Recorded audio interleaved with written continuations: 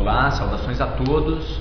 Bem, hoje eu vou realizar com a paciente alguns procedimentos para artrose de joelho, então artrose femoropatelar e também femorotibial, para alívio dos sintomas do paciente. Então, para dar um pouco mais de mobilidade para esse joelho, realizar um estiramento dos tecidos moles que acabam é, tracionando e tensionando um pouco mais essa articulação, né, sobrecarregando um pouco mais. Então eu vou realizar algumas manobras terapia manual aqui articulação, primeiro patelo femoral. Tá? Então com o paciente em decúbito lateral com aproximadamente uns 30 graus, 20 graus de flexão do joelho, eu vou posicionar a minha borda tenar sobre a borda lateral da patela e vou mobilizar no sentido medial, tendo em vista que paciente com o joelho valgo, ele tende o que? A uma lateralização, um vetor de lateralização da patela com sobrecarga do componente lateral.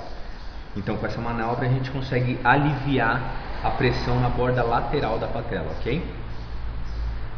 Então, acho a borda lateral da patela, posiciono a minha região tenar, estabilizo com a minha mão caudal e vou mobilizar no sentido medial essa patela. Então, com movimentos oscilatórios, qualquer desconforto, é só me avisar, tá?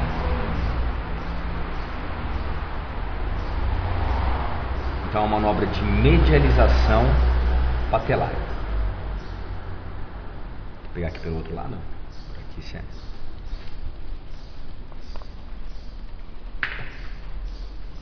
manobra de medialização da patela.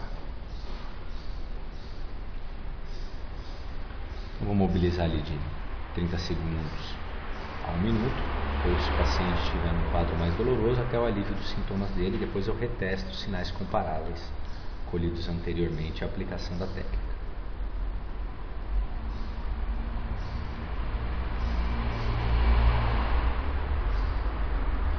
Lembrando que a pressão ela é somente na borda lateral, no sentido de medialização, no sentido látero-medial do joelho.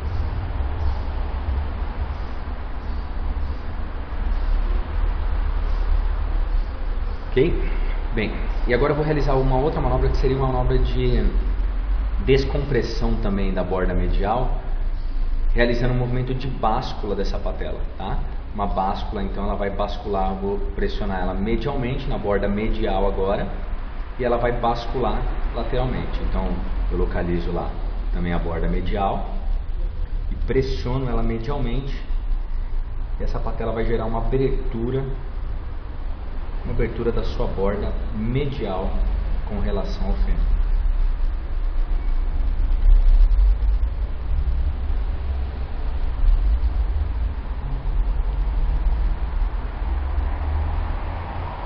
desconforto também só me fala. Tá? Então, manobras descompressivas para alívio dos sintomas do paciente, para articulação patelofemoral.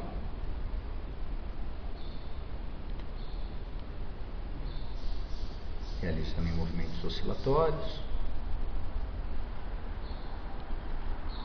Agora gerando esse componente de, de báscula da patela.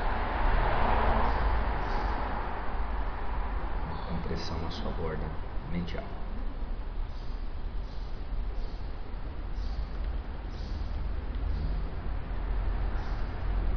Muito bem. Agora trazendo um pouquinho para a artrocinemática, lembrando um pouquinho mais vocês. Quando um joelho ele vai realizar uma extensão ou uma flexão em cadeia cinemática aberta, vamos pensar numa cadeia cinemática aberta. O paciente está aqui, né? Então aqui fêmur, tíbia, ele vai realizar a extensão do joelho, a tíbia ela vai deslizar anteriormente em relação ao fêmur e rodar externamente. Ok? E na flexão ela vai deslizar posteriormente e rodar internamente. É o que a gente vai trabalhar os movimentos artrocinemáticos no joelho da paciente agora. Pode virar de barriguinha para cima, por favor. Então, com o paciente com o membro contralateral em extensão, Eu vou pedir para ele manter uma leve flexão desse aqui, mantendo só o calcânio apoiado. Vou posicionar então na extremidade proximal fêmur, da, da tíbia, e a gente vai rodar internamente. Então, como se o paciente tivesse um mecanismo de cadeia cinética, cadeia cinemática aberta, ele vai rodar junto comigo essa tíbia medial durante a mobilização. Então eu vou rodar internamente aqui a sua perna e você vai virar o seu pé internamente e vai voltar junto comigo, tudo bem? Então nesse mecanismo a gente consegue uma, uma, é, uma forma de descompressão articular fêmuro-tibial, ok? Então trabalhamos patelo-femoral, agora trabalhando fêmuro-tibial.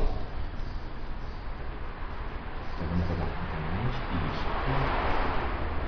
A gente vai acompanhando, vai fazendo como uma técnica de mobilização com movimento.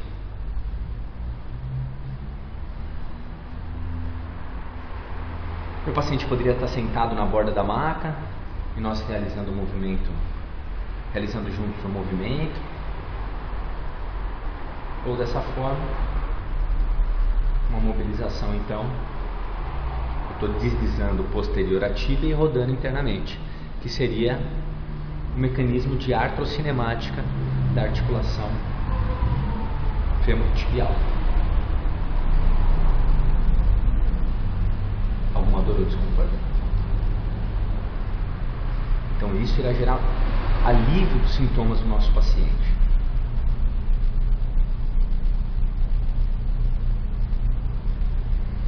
Ok? E por fim, eu posso aplicar com o meu paciente também uma técnica também agora de mobilização com movimento travando o terço distal da perna dele entre meu braço e meu tronco e estabilizar medialmente a tíbia no sentido de rotação interna e também trazendo que a patela no sentido medial. Então quando eu levo, lembra quando eu levo em flexão a tíbia roda internamente? Então eu tiro a pressão, roda internamente. Pressão, roda internamente e vou agora aplicando os movimentos atrocinemáticos no, no joelho.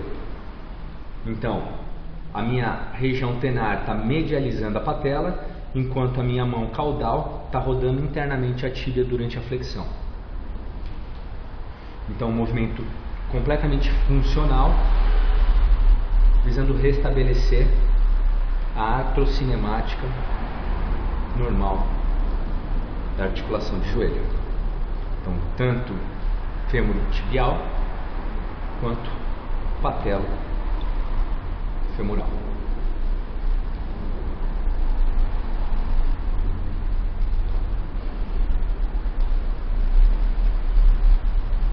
Ok? Então, algumas técnicas de mobilização articular para alívio dos sintomas do paciente com dor na articulação do joelho utilizando aí preceitos da terapia manual. grande abraço a todos, não deixem de se inscrever no nosso canal e até a próxima.